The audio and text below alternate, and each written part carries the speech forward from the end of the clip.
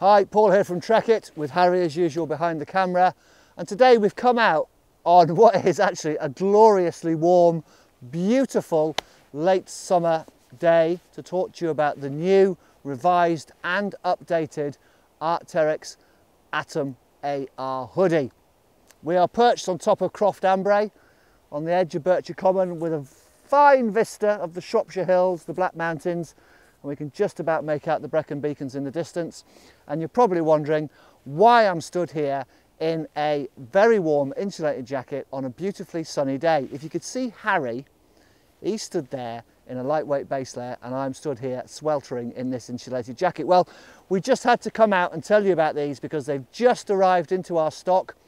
These are the new, revised and updated for autumn winter 2020 Arc'teryx Atom AR and we're just so excited to tell you about it so we've had to come out and I'm going to stand here and get sweaty. So uh, stay tuned to the end of the video. You'll know all about the new revisions, the updates, the fabrics, the techie bits, how I feel about the jacket, etc, etc. So yeah, stay tuned right to the end and uh, look forward to seeing you then. Okay, so before I start prattling on about all the techie stuff, don't forget to subscribe to our channel and if you hit the little bell icon you'll get notifications as soon as we post any new videos.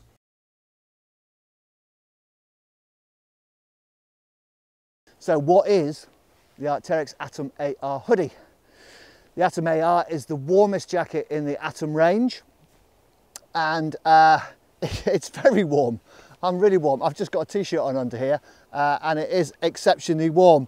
It's lightweight, it's very warm, it's compressible, it's highly weather resistant, it's highly breathable, it's a beautiful thing uh, and you can use it for just about any cold weather mountain activity.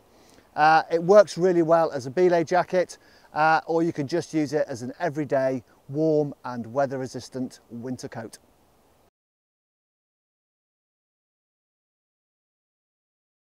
So what's the Atom AR hoodie made from? Well, let's get down to the nitty gritty and break it down and look at each component part.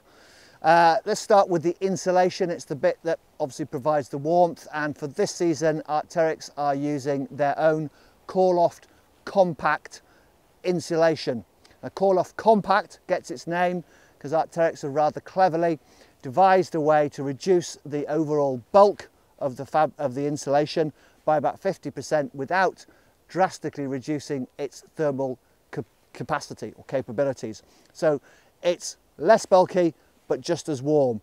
Uh, each, uh, each of the fibres within the Coreloft, so they're little polyester fibres, it's a synthetic insulation.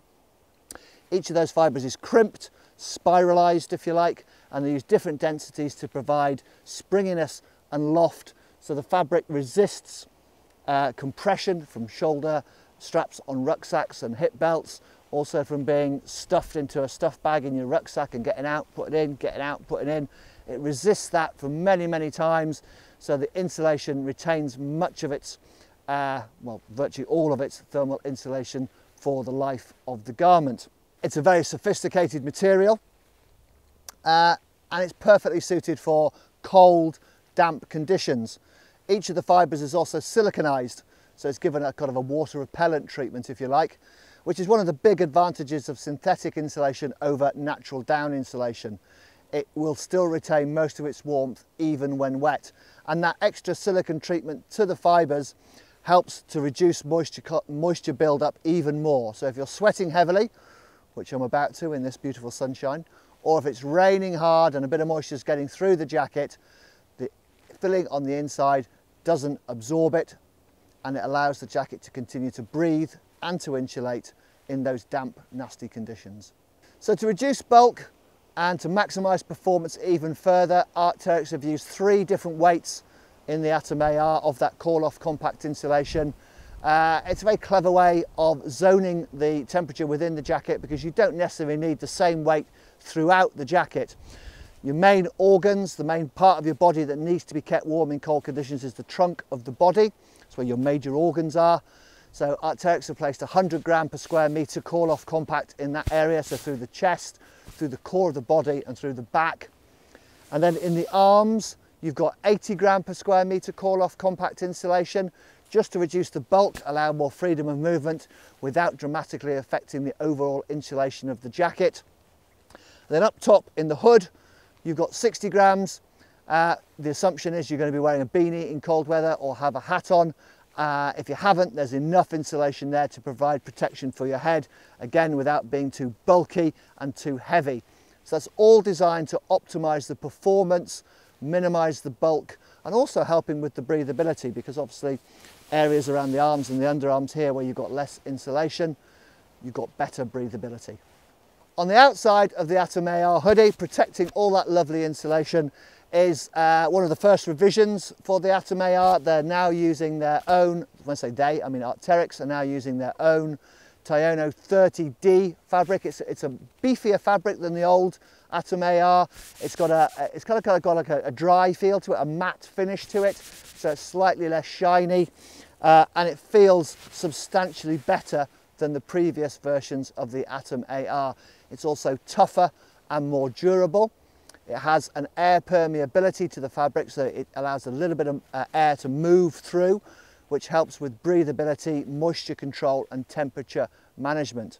The fabric itself is pretty wind resistant. It's also highly weather resistant, thanks to a DWR treatment which is applied to the outside. Now that just means that any rain or snow that hits the outside of the fabric just beads up and rolls off. That will diminish over time with use and through repeated washing, uh, but can be reapplied. Use a, a Granger's or a Nikwax product, give it a spray on the outside, reinstate that DWR. So major revision is the Tyono 30D tougher, drier. You know what I mean when I say drier? It just doesn't feel quite so silky and slimy. It feels drier, a matte finish. And it's tougher and uh, it looks nicer.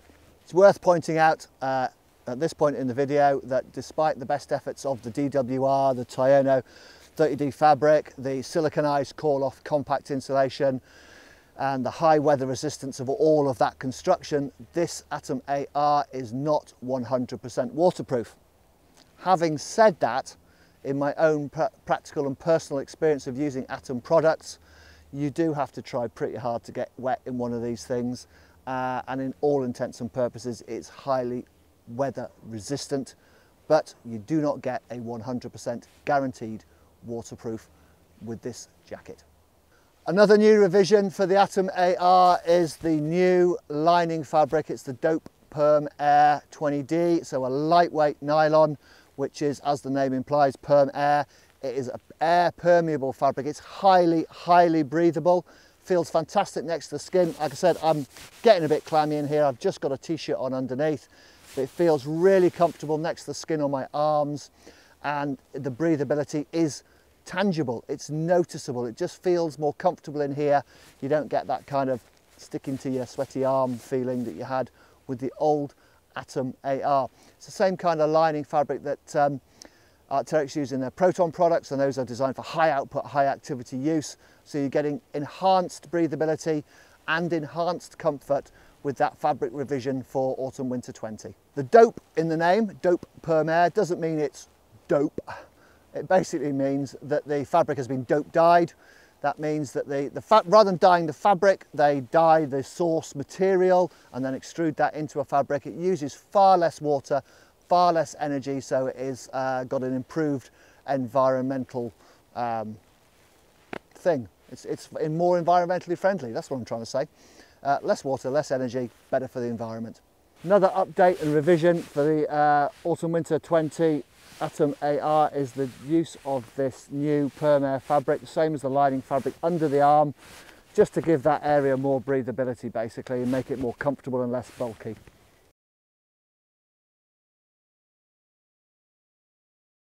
Okay, let's go through the features.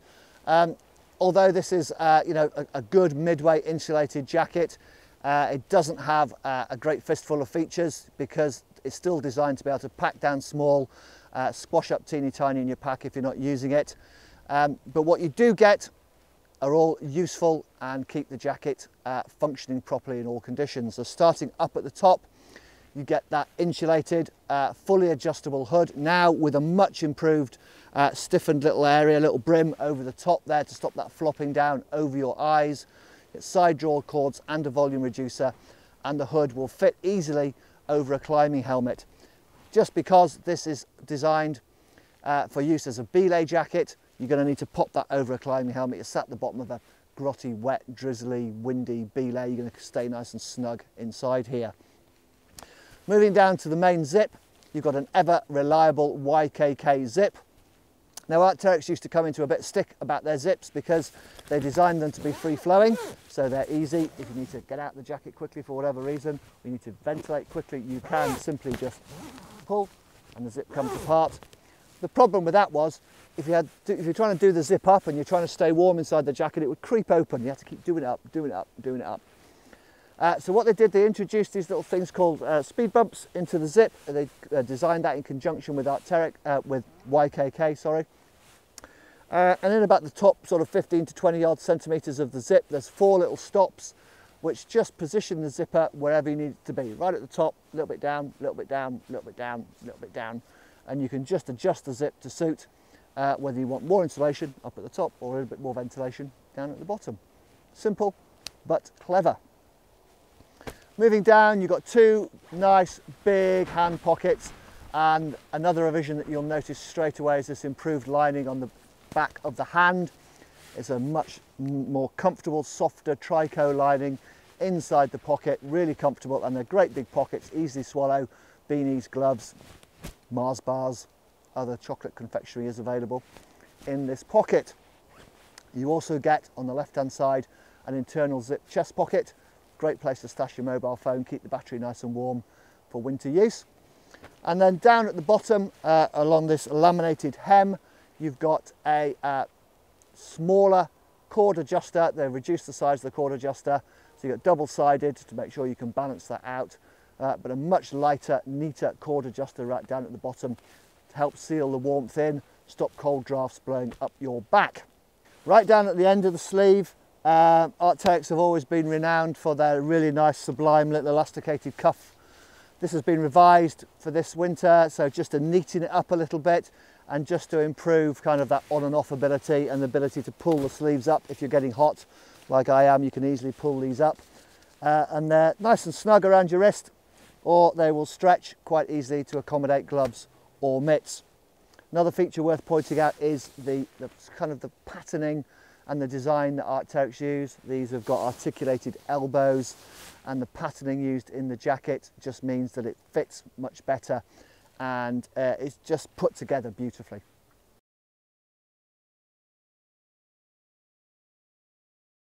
So how does the Atom AR hoodie fit? Well, I am very happy to announce that it is fits much better than the previous seasons. To be honest, I did struggle with the fit on the old Atom, Atom AR. It was a bit boxy, a bit short in the body, just a bit kind of big and boxy. But this new one is much, much improved. So for those of you who don't know, I'm six foot three, 42 inch chest, 34 inch waist, and I weigh about 13 and a half stone. And this is a size large and it's much slimmer through the body and through the hips. Still plenty of room around the shoulders and in the arms for movement and for extra layering. There's still room in here. You know, it's not a, a snug, tight fit. It comes into their regular fit block, but it's a massive, massive improvement on the old Atom AR. Uh, there's still room under here for extra layers if you're using this uh, as part of a layering system or using it as, as an outer jacket over layers. There's still room in here to get this over the top of a waterproof if you're using it as a belay jacket. But if you're just using it as a kind of a standalone, everyday, warm winter coat, just over some light layers, it doesn't now feel really big and boxy and uncomfortable. It's just massive improvement. Nice one, Arc'teryx. Thank you.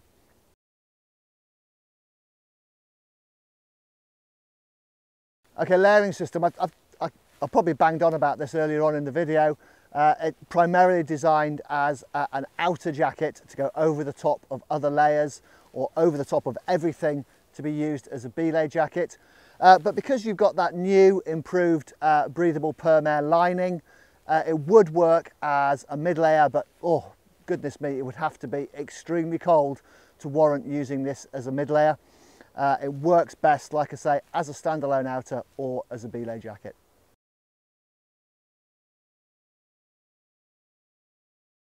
So that's it, we've made it. The, new Arc'teryx Atom AR hoodie. Uh, I'm really impressed with it. I think uh, they've done a great job, particularly with the fit uh, and with the new fabrics. The fit feels superb. The new fabrics just give it a more tougher, purposeful feel to the jacket. Uh, I'm going to get one for this winter. Uh, my old one is going to be uh, resigned to, I don't know, a bit of gardening probably. Uh, really, really like it. The new fit is brilliant. It is probably the best synthetic jacket in the world. There's a bold claim. Uh, but yeah, I think it would stand up there quite easily as one of the best jackets uh, for all mountain use in cold, damp, changeable conditions. It's, it's just superb. So thanks very much for watching. Uh, if you've enjoyed it, give us a thumbs up, hit that subscribe button and the bell icon and you'll be notified every time we post one of our videos. And if you have any comments or questions, pop them in the section below. It's always good to hear from you. I am now very much looking forward to taking this off and cooling down. So I'm going to say toodaloo. Toodaloo. I'm a little spot just north of Hereford. What's it called? Dope Permair 20.